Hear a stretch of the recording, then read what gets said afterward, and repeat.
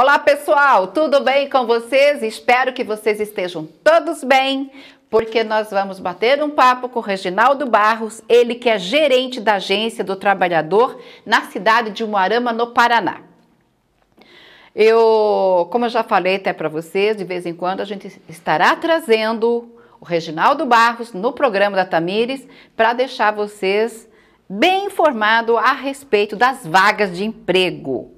Né? E falando também em cima disso tudo, né? Às vezes as pessoas é, se desligam um pouco né, da situação. Então, ele já está aqui comigo e nós vamos bater um papo, então, bem gostoso. Boa noite, Reginaldo. Olá, minha amiga Tamires, boa noite a você, boa noite também aos seus telespectadores, né, todos que estão acompanhando também pelas redes sociais. É né? verdade. É um prazer imenso estar aqui novamente a seu convite, por isso quero fazer esse agradecimento por você abrir esse espaço também ao nosso cine aqui de Morama. Verdade. Reginaldo, é, você tem um trabalho muito bacana na agência, né? Você modificou muitas coisas e as coisas foram acontecendo. E a Agência do Trabalhador, na, aqui de Moarama, no Paraná, é um é destaque, né, nacional a respeito de todo o trabalho que você faz. E a Agência do Trabalhador, ela ficou em quarto lugar em contratações no, esta, no estado no mês de maio, tá, gente? Preste atenção. E décimo sexto geral dos primeiros cinco meses deste ano e nacional. Olha só como a nossa agência está linda, maravilhosa e crescendo aí. Está, eu falo assim que às vezes, muitas vezes serve de vitrine para outros, né? Então, agora nós vamos conversar sobre isso, porque sempre que ele vem aqui ele tem uma novidade da nossa agência. É isso mesmo. E primeiro eu quero agradecer né, o empenho de toda a nossa equipe lá da Agência Trabalhador, ao nosso secretário Marcelo Adriano, o prefeito Hermes Pimentel, porque sem essa liberdade né, que a de gente trabalho, tem né? de trabalhar não seria possível ah, termos esses resultados positivos. Né? Como você diz muito bem, mês de maio ficamos aí em quarto lugar no estado do Paraná em colocações, é, 297 pessoas que foram empregadas, que passaram pela agência, que pegaram os encaminhamentos, que foram nas entrevistas e posteriormente foram contratados. Então são dados é, divulgados pelo Ministério do Trabalho, né, é, em conjunto com a Sejuf aqui no estado do Paraná. E a grata surpresa, ontem né, nós recebemos a informação em nível nacional, são 1.352 agências é, em todo o Brasil. A Umarama ficou em 16º colocado, em colocações do mesmo feitio. Então, volto novamente a agradecer a equipe e, acima de tudo, os nossos empregadores, né, que vêm acreditando cada vez mais na agência e tendo essa percepção né, de que a agência realmente contribui para auxiliá-los aí na, nas contratações. Verdade. Agora você imaginou se todas as pessoas, né, que se fosse tudo bonitinho, direitinho, acho que nós já estaríamos em primeiro, não em quarto, né? Com certeza, porque vagas nós temos. Nós tivemos, é, você acompanhou principalmente o feirão, né? É, foi um Muito sucesso, bom. inclusive foi copiado é, em outras cidades, inclusive posterior ocorreu também no município de Assis Chateaubriand, isso movimentou a cidade, nós fizemos uma captação de aproximadamente 800 vagas e nós temos isso. Né? Mas a maior dificuldade, até é, é, foi feita uma reportagem no jornal Morama Ilustrado, e isso é uma realidade não só de Umarama, nós conversamos com outros gerentes também, né? são duas situações inicialmente que acabam prejudicando a inserção das pessoas no mercado de trabalho, que é a questão da qualificação e, posteriormente, a questão é, do estudo. Né? Muita gente não tem aí no ensino médio, não tem ensino fundamental. E muitas empresas elas é, estão contratando somente quem tem a escolaridade adequada.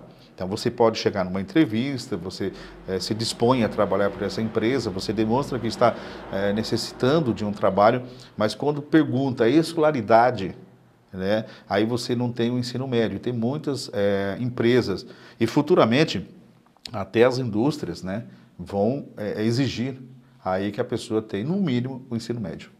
Mas você falou uma, algo que é verdade mesmo. Ah, hoje não está tão difícil assim para estudar. Não é verdade? É, hoje tem o EJA, tem o CBEJA, né? Então... É exatamente isso que eu ia falar para você. Você pode adiantar os estudos num CBEJA, por exemplo. É, até eu fiz esse questionamento para uma, uma, uma gerente de uma rede de supermercados, que que ela falou assim, olha, Reginaldo, no feirão mesmo, ela fez várias entrevistas e ela falou, aqui eu vi pessoas que daria certo na empresa, só que eu não posso contratá-los porque há uma exigência da central. Se eu chegar e encaminhar os documentos, essa pessoa não vai ser registrada. Então, eu falei assim, mas por que há essa exigência? Ela falou assim, porque a empresa ela dá oportunidade à pessoa crescer dentro da empresa. Então ela pode começar como é, ali embalador e chegar a ser gerente da unidade. Então por isso que ela exige uma pessoa ter um pouco mais de conhecimento. Então realmente cada vez mais as empresas estão exigentes nesses setores. Então você tem a qualificação, que é importante, questão dos cursos, mas se você não tiver uma boa escolaridade, aí isso está complicando e muito. Quando você fala assim, muitas pessoas falam assim, mas eu não preciso estudar. Eu entendo muito bem isso aí. Eu sei fazer isso aí. Eu sei fazer melhor do que aquele que já né, tem o, o ensino superior. É, hoje até um porteiro. Só que né? você no currículo você tem que pôr. É obrigado. É obrigado. E hoje até um porteiro, até porque tem empresas que exigem, inclusive, a comprovação, né? Então, assim, eu já tenho um porteiro, né? Porque você tem que ter uma noção que você trabalha com um sistema tecnológico. Exatamente. Então, você tem que ter uma noção, tem que saber ler, saber escrever, tem que ter um pouco mais é, de conhecimento. E aí, se você não estuda, se você não procura se informar, é, se qualificar, vai ficar para trás, lamentavelmente. Ah, mas eu vou trabalhar em produção. Eu vou, volto, volto a informar. Em breve, até a produção, que é hoje, nós temos aqui um exemplo a Levo, para o setor de abate, ela não exige né, escolaridade, a pessoa tem que ter vontade de trabalhar. Mas já temos outras indústrias no setor aí de, de, de, de produção que está exigindo no, no mínimo ensino médio também. Aí, então, mesmo o serviço braçal, serviço de produção, vai ter que ser, vai ter que ser qualificado nesse setor. A escolaridade também, a questão da qualificação. É verdade, porque hoje é, até para você comprar um remédio, você chega lá na farmácia, não tem mais aquele negocinho de caneta, essas coisas todas. É tudo lá na internet. Com certeza. E aí que você falou, se a gente tivesse, né, hoje... Tudo é, informatizado. É, a pessoa, o Marama, se as pessoas quisessem mesmo né, procurar e se, se qualificar, nossos números né, estariam bem acima do que nós estamos divulgando nesse momento aqui no seu programa. Mas com certeza, eu tenho certeza disso porque as pessoas não procuram estudar. Eu vejo, esses dias, agora há poucos dias, né, é, veio o gerente do SENAC e, e ele estava falando dos cursos gratuitos. E por que, que não dá para fazer esse curso gratuito? É, inclusive, nós temos, é, já aproveitando que você citou o curso, é, nós tivemos uma reunião com o Senai, mas em breve você vai estar noticiando aqui, a gente está fechando a parceria. São dois cursos, inclusive na área até de, é, de pedreiros, né, que a gente precisa, na área de, de, de carpintaria. E nós vamos ter também cursos, até hoje de manhã tivemos uma reunião com Curitiba e a Sejuf, através do Senac e Senai, cursos gratuitos, cabeleireiro, mas estaria anunciando posteriormente. Então a gente corre atrás também é, de parcerias, o município fazendo aquisição de cursos é, para qualificar também a nossa é, população. E para você ter uma ideia, também nós estamos lá, quero anunciar inclusive em primeira mão no seu programa, que nós tivemos, é, a, o Marão foi contemplado com 27 vagas no Recomeça Paraná.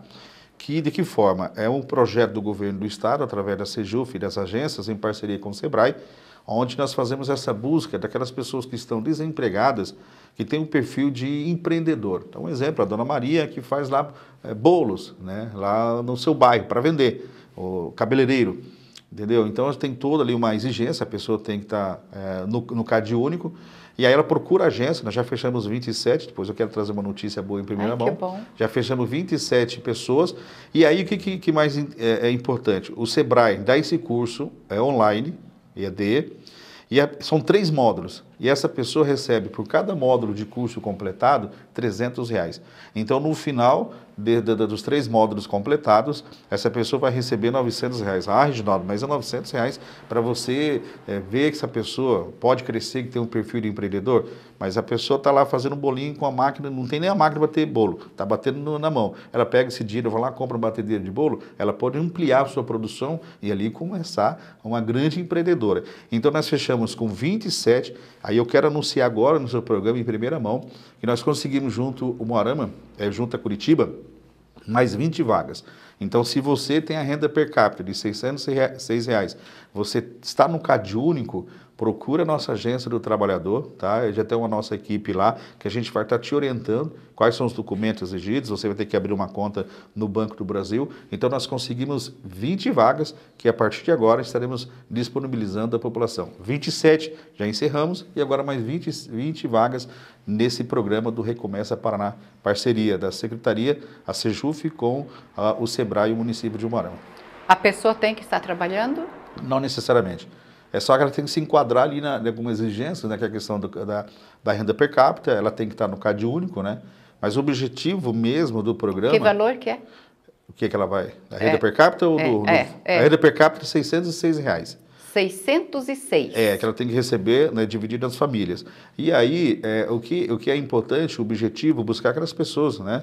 Que têm um espírito de empreendedor, né? Sim. E aí, dá um pontapé inicial. Ela vai estar fazendo esse curso. Só que para receber esses 900 reais, ela tem que completar os três cursos. Então, são três módulos. Cada módulo, 300 reais que vai cair na conta dela. É o que eu estava comentando ao entrar no comercial a respeito da mão de obra qualificada e também o estudo. É, tem como você estudar, vá atrás. É como o Reginaldo falou, você tem um espírito de empreendedor, então você quer ter uma empresa, você quer fazer algo diferente, você tem vontade de crescer. Quantos meninos aí de 25, 27 anos que já tem seu carro, tem moto, tem casa, por quê? Eles vão atrás, eles têm vontade de vencer. Então tem que ser assim. Você não pode ficar, como eu sempre falo, jogado na rede, jogado na cama, e o dia passa e você não consegue fazer nada e você não cresce com isso, né? Com certeza, é importante. Em busca do seu objetivo, né? Em busca do objetivo Porque, sempre. Nós temos que ter um objetivo na vida. E aí, o Tamires, que é importante, é até o que eu gostaria de comentar, até quem está lá acima, que tem empresa, está buscando também a qualificação. Nós Sim. tivemos aí é, um curso junto à Casa Empreendedor para as pessoas que estão abrindo as empresas, qualificando elas também. Então hoje está todo mundo buscando as informações, se mexendo, e essa pós-pandemia, né, eu acredito que nós avançamos aí uns cinco anos, né? Em todos os setores, na área de tecnologia, eh, no trabalho, mudamos um pouco o nosso ser. As pessoas tiveram que se reinventar. Se reinventar, essa é a palavra correta. Então você também tem que estar ligado, né? Tá ligado, eu acho deixar um pouquinho, né, internet, esse WhatsApp, Facebook à noite e procurar, ó, tem um curso, vamos lá fazer, ó, tem uma palestra, vamos procurar e sempre se informar e buscar coisas novas para colocar em prática, isso ajuda muito no seu conhecimento e consequentemente você vai crescer com isso. É verdade. Tem muitas pessoas que trabalham durante o dia, tem, vamos imaginar que tem um curso à noite e que ela se encaixa. Assim, ah, eu chego cansado, ah, eu não tenho vontade de ainda estudar, né, fazer alguma coisa. Faça um esforço que vale a pena. A recompensa vem. Né, é, e começar e terminar, só para você ter uma ideia. É, começar nós, e terminar. Nós fizemos a aquisição através do município, a pedido do prefeito Hermes Pimentel. Por exemplo, vendas. Né? Nós temos várias vagas abertas na área de vendas, eh, na agência trabalhador. Nós eh, compramos um curso, município, né? E oferecemos à população 30 vagas. O curso está em andamento. Eu estou rezando, hoje tem 15. Os outros desistiram. Estou rezando para esses 15 continuar, pelo amor de Deus. Então, assim, você vê essa dificuldade. O município faz investimento, você move toda uma estrutura. Eu lembro no passado, Tamir, você lembra muito bem, esses cursos você tinha que comprar. E eram caros, sim, né? Sim, e fiz matéria, muito. muitas matérias a respeito do hoje assunto. você tem curso de panificação gratuito, você tem curso de que nós fizemos, nós estamos inclusive manicure, curso de panificação, pedicure. manicure, pedicure, curso de cozinha. Você tem curso hoje até de programador gratuito. O Michel sabe muito bem no passado para você se qualificar nessa área, um curso de programador é um absurdo, cara. Hoje nós estamos ofertando gratuitamente. Ah, O curso de vendas no passado era olha, um absurdo de caro. Hoje você tem gratuitamente. Aí as pessoas vão lá, participam em duas ou três aulas, depois do nada é, eles acabam desistindo. Então, até conversei com, com o Tiago, que é o gerente do Senac, né? É, Ele falou, falei, quantas pessoas estão no curso? Ele falou, não, tem 30, tem 15. Então, dos 30, eu tenho que torcer para que esses 15 pelo menos Nossa, permaneçam. 50% né? desistiram. Lamentavelmente, lamentavelmente. E por que desiste? Curso de, curso de cozinha, ah, eu não me, ah, eu desistia porque, na verdade, não, não me interessei mais, eu arrumei, arrumei um trabalho, já estou trabalhando, você entendeu? Eu sempre cozinha. E o pouco que aprendeu, já estou fazendo em casa, já estou É, vendendo? o curso de cozinha você começa com 15, depois você vai lá encerrar, você entrega certificado para 6. Então, é, mas enfim, tem que entregar e, e tem que torcer para que esses 6 realmente entrem no mercado de trabalho, né? Mas não é por isso também que nós vamos desistir não, viu? Vamos continuar, vamos batendo aí. Eu, eu fiz muitas matérias no SENAC, muitas matérias. E, e era isso que acontecia. Gente, é, é triste. Às vezes começava lá, né, a gente ia lá porque tantos alunos iam começar na culinária. E vocês já pararam para pensar o investimento? Vamos falar do SENAC. O investimento que eles fazem para dar um curso de culinária, um curso de 20 dias, 25 dias, 30 dias, ou dois meses, três meses. Vocês já pararam para pensar nisso? E eles trabalham só com produtos muito bom. Muito bom mesmo, não é o intermediário, não. São produtos maravilhosos, de marcas famosas. E só para você ter ideia, E depois desistem. É, nós estamos agora, tem é, o prefeito aceitou que passasse por uma arama, né, que tem que mover toda uma estrutura do município, é, Rally dos Sertões. Vai passar por uma arama, né? Verdade. E, e agora está tendo uma, é, um trabalho junto ao SEBRAE, através da Casa do Empreendedor, da Secretaria de Indústria e Comércio, para qualificar os restaurantes, qualificar as pessoas, para estarem preparados e qualificados para receberem toda a estrutura, que muita gente né, do Brasil todo, quer dizer, vão sair, as pessoas vão sair de Foz do Iguaçu e vão passar é, aqui por Umarama. E essas pessoas vão per, per, é, pernoitar, eles vão no restaurante, eles vão na lanchonete. Então está havendo também uma, uma qualificação. Vão movimentar é, aí, a nossa cidade. E aí o que, que você precisa? De gente para trabalhar. De gente para trabalhar, garçom, fazer um bom atendimento. Não tem garçom, você, a cozinheira, uhum. né, as atendentes. Então você vê que está essa movimentação também na cidade, e aí os proprietários de restaurantes ficam desesperados. Falam, e agora? Cadê esse povo para trabalhar? Esse povo? E aí você vem, o município faz o levantamento, você vai lá, você faz a aquisição de um curso, fala, gente, há uma demanda muito grande, vamos fazer o curso, isso ajuda, a agência pode intermediar, Verdade. pegar essa pessoa que está fazendo o curso, fazer o encaminhamento, e aí a gente percebe o desinteresse, mas enfim, tem que ser vida que segue, né? Vamos trabalhar né, que para que essas, essas pessoas que permaneçam realmente possam conseguir aí o tão sonhado emprego. E seis aqui, cinco ali, vão tocando o barco. Quem sabe no futuro as pessoas acabam sensibilizando, porque aí ela fica para trás. Ela vai ver aquela companheira que fez o curso, de repente, num restaurante do, do, do, de uma cozinha, da, do, da, do, da cozinha de um restaurante, no shopping, que está precisando bastante. Nossa, shopping, e aí você fica reclamando. E aí você fica reclamando que não, ah, estou desempregado, desempregado. E a sua parceira está lá trabalhando. Aí você pergunta, meu Deus, por quê? Por quê? Deus colocou na sua mão, né? Aí Deus também ajuda, a gente fica reclamando de Deus, né? Deus fala assim, ó, através da agência, através do município, tá ali, você vai fazer o curso, ali o seu início para você conseguir todo certo emprego. Aí você vai um, duas aulas, some. Depois você fica reclamando de Deus. Ah, Deus fala, pelo amor de Deus. Pelo amor de posso Deus fazer mesmo, mais nada né? por você também, né? Porque Deus faz a parte dele. A agência está fazendo a parte dela. Você tem que, ter tem essa... que fazer a sua parte. Você tem que ter essa percepção. Falou, opa, isso aí é Deus colocando alguém no meu caminho que vai me ajudar. Então você tem que estar ligado também, né? Como que pode, né? Ah, é. Deus não me ajuda. Eu sou um fracassado, uma fracassada. Para para pensar um pouquinho em toda a situação, né? Porque tem gente que quer uma oportunidade. Que, até vou colocar assim, um exemplo. Você coloca lá 15 vagas. De repente, você toma lugar de alguém que queria... Porque aí a pessoa chega lá, quer fazer a inscrição. Você fala, já está completo. É. Aí, de repente, eu deixo uma pessoa de fora, uma pessoa que poderia estar fazendo o curso, queria iniciar e terminar, porque você pegou, é, né, tem esse, é, teve a oportunidade de fazer o curso, você tomou o lugar dela e você não foi. E na metade do curso eu não posso pegar uma pessoa de fora e colocar, né? Verdade. Porque... Mas é, você sabia até, não só a questão do curso, eu estava vendo, vendo uma reportagem, uma quantidade imensa de pessoas que pegam as consultas e não vão no médico fazer consulta. Então, assim, eles registram ali, tomam lugar de outras pessoas para não comparecer. Entrevista para emprego.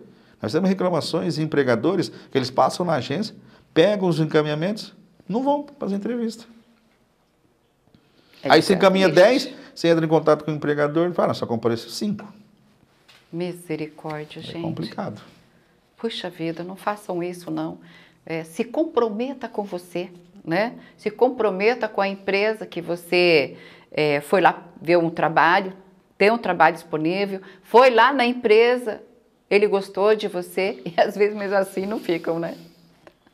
Isso é uma judiação, gente, pelo amor de Deus. É, é, inclusive, a gerente de uma rede aqui, conversando com a nossa equipe de captação, durante o feirão no processo, contratou 30, acho que, não, acho que é 30. Permaneceu 15 e saíram dentro de 30 dias.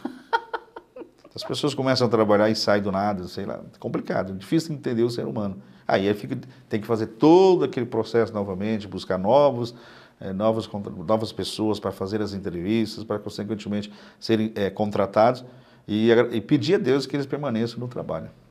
Sabe, Reginaldo, é, você falando assim, é, passa um filminho na cabeça da gente, né? Com todo esse tempo de pandemia, dois anos e pouco, a pessoa desempregada, depois arruma um trabalho. Eu acho que ela estava acostumada a ficar em casa, né? Por isso que não dá certo.